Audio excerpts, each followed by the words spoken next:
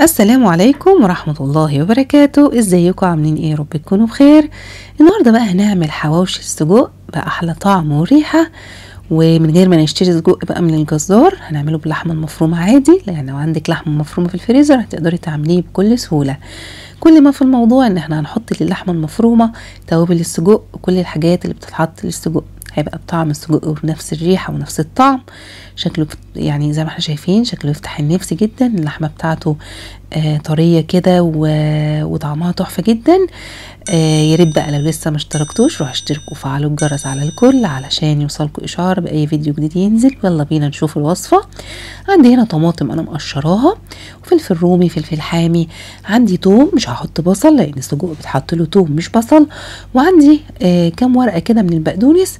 هبدأ أضيف كل ده عندي كده في الكبة عشان أخده فرمة كده الأول أفرمه وهحط قطعة ليا حوالي آه يعني حوالي خمسين جرام كده من اللية آه وده مهم جدا جدا في الحواوشي هو ده اللي بيدي الطعم وبيدي الطراوة والريحة الفظيعة اللي بنشمها عند بتاع الحواوشي.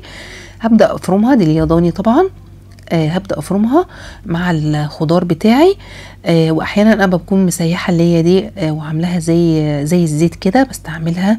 بتبقى أسهل كتير ما بتفرميها وما بتبقاش باينة في في اللحمة أكتر. عندي كمان هنا نص كوباية من البرو اللي أنا نقعتها. آه حجمها بيتضاعف وبتبقى حوالي كوباية بعد ما بتنقعيها. نقعتها وصفيتها كويس من الميه عندي توابلي هنا بقى معلقة كبيرة من البابريكا معلقة كبيرة من القرفة ودي مهمة جدا في توابل السجق. آه معلقة صغيرة من الفلفل الأسمر معلقة صغيرة من سبع بهارات نص معلقة صغيرة من الكزبرة الناشفة ربع معلقة صغيرة من الحبهان وعندي هنا آه معلقة كبيرة من الثوم البودر وهسيب لكم التوابل بالظبط في في صندوق الوصف. آه وحوالي آه طرف المعلقة كده قرنفل مطحون وده برده من توابل السجق القرفة والقرنفل هما دول الأساسي بتوعي. وخدت بشرة كده من جوز الطيب. آه هي دي التوابل بتاعة السجق. تمام؟ هبدأ أخد بقى اللحمة عندي ده نص كيلو من المفروم. هبدأ أخده ألفه مع الخضار والبرغل والتوابل. آه تقدري تلفيه بإيدك عادي تعجنيه بإيدك إذا حبيتي مش لازم تلفيه في الكبة. أنا هاخده بعد كده هكمل عجن بقى في البوله كده علشان عايزه يبقى فيه جزء خشن وجزء ناعم مش عايزاها كلها تبقى ناعمة تمام؟ هبدأ أقلب كويس جدا كله مع بعضه.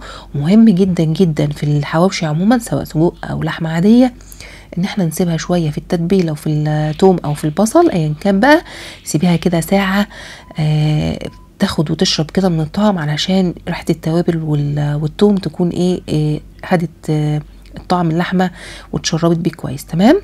أنا عندي العيش ده أنا كنت عاملاه بعمل لكم إن شاء الله فيديو عنه.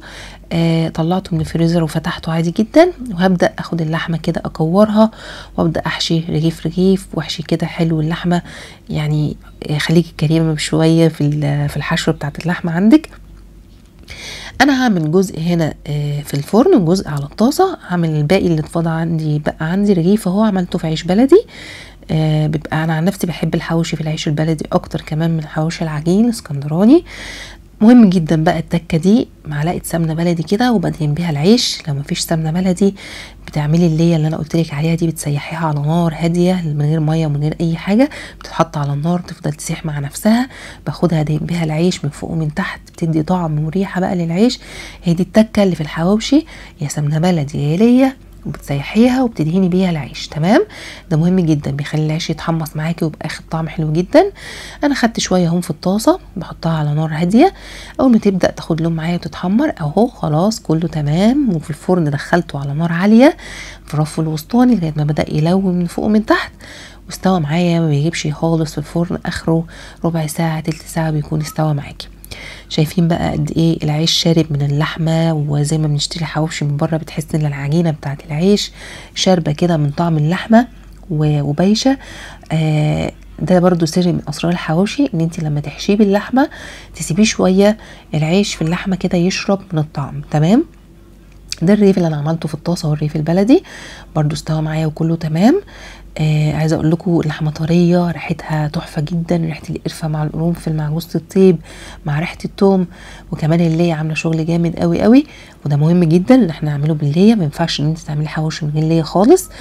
يا رب الوصفه تكون عجبتكم إن شاء الله. وجربوها وتقولوا رأيكم إيه في التعليقات. هستنى إن شاء الله تكتبوا لي آرائكم وتعليقاتكم لأن رأيكم دايما بيهمني سواء سلبي أو إيجابي دايما باخده في الاعتبار. ويا ريت لو لسه بقى ما اشتركتوش روح اشتركوا وفعلوا الجرس عشان يوصلكم إن شاء الله إشعار بأي فيديو جديد يوصل. شايفين قد إيه اللحمة من جوه طرية مستوية. آه أخدة بقى طعم وريحة السجق مش قادرة أقول لكم. آه تحفة جدا. هتجربوها وهتعجبكم بإذن الله. واستنوني إن شاء الله في فيديو جديد. كنت معاكم شيماء أمين.